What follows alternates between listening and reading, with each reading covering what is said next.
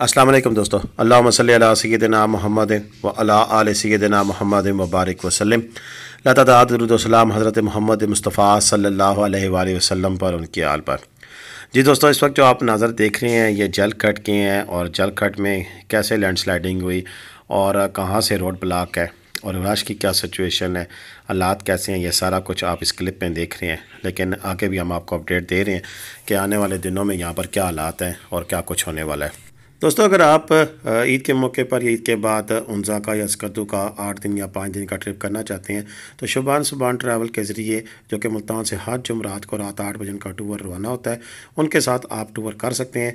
आप इनके साथ कंफर्टेबल होंगे और ये आपको बेहतरीन सर्विसेज़ प्रोवाइड कर रहे हैं। मेरी वीडियो देखते रहा करें और मेरे चैनल को सब्सक्राइब कर लें और घंटे का बटन दबाकर आल नोटिफिकेशन का बटन दबा लिया करें, ताकि हमारी हर आने वाली वीडियो का मैसेज आपको मौसू होता रहे। दोस्तों जैसे जलकट से आपने नज़र बताए हैं और नारान से बाबूसा टॉप के बारे में हम आपको अपडेट दे रहे हैं। और ये अपडेट हमें दी है आरिफ रब्बानी साहब ने, बाबूसा टॉप से, जो कि वहाँ मौजूद हैं। और रब्बानी साहब का नंबर भी स्क्रीन पे मौजूद है, आप इनसे रबता कर सकते हैं। और अगर आप बाबूसा टॉप और इसके मलिका एरिया में जो वाक़ झीलें हैं, वहाँ की सैर करना चाहते हैं, बाबूसा टॉप पर आप क्याम करना चाहते हैं या बाबूसा टॉप के हवाले से किसी किस्म की अपडेट लेना चाहते हैं तो आरिफ रब्बानी साहब का नंबर मौजूद है, आप इनसे रबता कर सकते हैं। आरिफ रबानी साहब के मुताबिक उन्होंने बताया है कि एक तो चलास वाली साइड से रोड खुली है का दिक्का कोई गाड़ी आ रही है, वगरना ये सब आप देख रहे हैं कि वो का आलम है। और नारान से बबूसा टॉप की पर रोड बिल्कुल बंद है, जलखड़ के मुकाम से, जो कि जैसा कि पहले क्लिप में मैंने आपको दिखाया है कि वहाँ पर वहाँ से रोड बंद है। और रोड बंद होने के बाद ये मनाजर हैं आपके सामने कि यहाँ पर बिल्कुल खामोशी छाई हुई है। किसी किस्म का कोई भी टूरिस्ट यहाँ तक नहीं पहुँच पा रहा है। और उसकी मेन वजह यही है कि नारान से बबूसा टॉप के जाने वाला जो रास्ता है वो बंद है।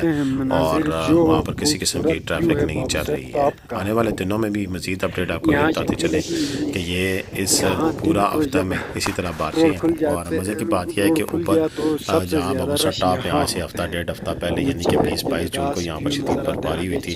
यहाँ पर अभी तक बारिश कोई नहीं हुई है। बारिश इलाकों में हो रही है साथ वाले इलाकों में हो रही है। और वहाँ पर बारिश होने के बाद वहाँ से जो पानी का बहाव है वो आगे आ रहा है और वो ग्लेशियर में की सूरत में ग्लेशियर गिरने की सूरत में या लैंडस्लाइडिंग की सूरत में सामने उसके हालात वाक़ आ रहे हैं। चलास वाली साइड से आप इलाका ये देख रहे हैं ये सारी सिचुएशन आपको दिखाई जा रही है। आरिफ रब्बानी साहब आपको वहाँ से अपडेट दे रहे हैं आप देख सकते हैं। आप देख सकते हैं कि बाबसेट के सेंटर में मैं खड़ा हूँ। होटलें छोटे छोटे जो होटल बनी हुई वो खुला है।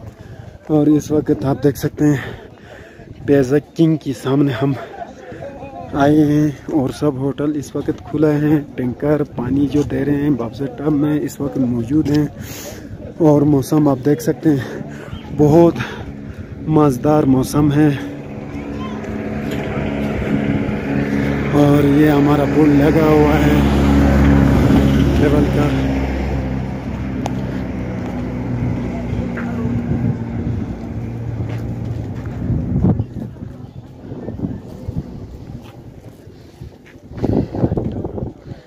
ये हमारे जी दोस्तों आपने आरिफ रब्बानी साहब की ज़बानी वहाँ से लाइव खुद सुन लिया कि वहाँ पर क्या हालात हैं कि बिल्कुल खामोशी है और वहाँ पर कोई ख़ास टूरिस्ट नहीं है। और ये इसार भाई के कल के क्लिप्स हैं कल शाम को पाँच तकरीबन ये पाँच बजकर चौवन मिनट यानी कि छः बजे के शाम के मनाजर थे। और यहाँ पर भी बादल तो नज़र आ रहे हैं, लेकिन बादल यहाँ नहीं बरसे हैं, बल्कि नीचे वाले इलाकों में जाके बरसे हैं, जिसकी वजह से फ्लड की सूरत हाल पैदा हुई है। असल जो रास्ता बंद है, वो जलखट के करीब बंद है और जलखट के करीब जो लैंड स्लाइडिंग हुई है, उसके बारे में डिस्ट्रिक्ट एडमिनिस्ट्रेशन जो दियामीर है चलास सेक्टर है और इसी तरह दूसरी तरह के डी ए कवान डेवलपमेंट अथार्टी है दोनों की जानब से मुश्तर लामिया जो जारी किया गया है, उसके मुताबिक कल सपहर तक शायद रास्ता खोले। उससे पहले पहले किसी किस्म का रास्ता खुलने का कोई चांस मौजूद नहीं है। तो ये इस वाले से भी मैं आपको ताज़ा तरीन और ब्रेकिंग न्यूज़ ये दे रहा हूँ कि यानी कि सात तारीख को शाम तक रास्ता खुलने की उम्मीद है, उससे पहले नहीं है। और उसके साथ साथ एक ट्रिप एडवाइजरी भी जारी कर रहा हूँ और वो यही है कि आने वाले दिनों में जब तक ये बारिशों का यह स्पेल मौजूद है और ये बारिशों का ये जो स्पेल है ये तकरीबन छः आने वाले दिनों में ईद के दूसरे दिन तक मौजूद रहेगा। उसके बाद क्या सिचुएशन होगी, फिर हम ताज़ा तरीन अपडेट आपको देंगे। लेकिन ईद के दूसरे दिन तक यही मामला होंगे। इसी तरह बारिश होगी थंडस्टाम और बारिश यानी कि मंगल वाले दिन उन्होंने बताया हुआ था। इसी तरह बारिश थंडस्टाम और किसके साथ साथ ये लैंडस्लाइडिंग हुई है। तो ऐसे ही हालात का सामना आगे आने वाले दिनों में भी आपको करना पड़ सकता है। उसके लिए ये कि ईद तक आप इन इलाकों में सफ़र करने से गुरेज करें। और बिलफर्ज अगर कोई मजबूरी है या जाना पड़ ही जाता है तो उसमें अपनी एहतियाती तदाबीर के साथ जाएँ। जैसे ये लैंड स्लाइडिंग हुई है तो उसके बाद फिर ट्रैफ़िक का मसला बने और मसले के बाद फिर काफ़ी ज़्यादा लंबी लाइनें लगी हैं और मसाइल का सामना करना पड़ा है।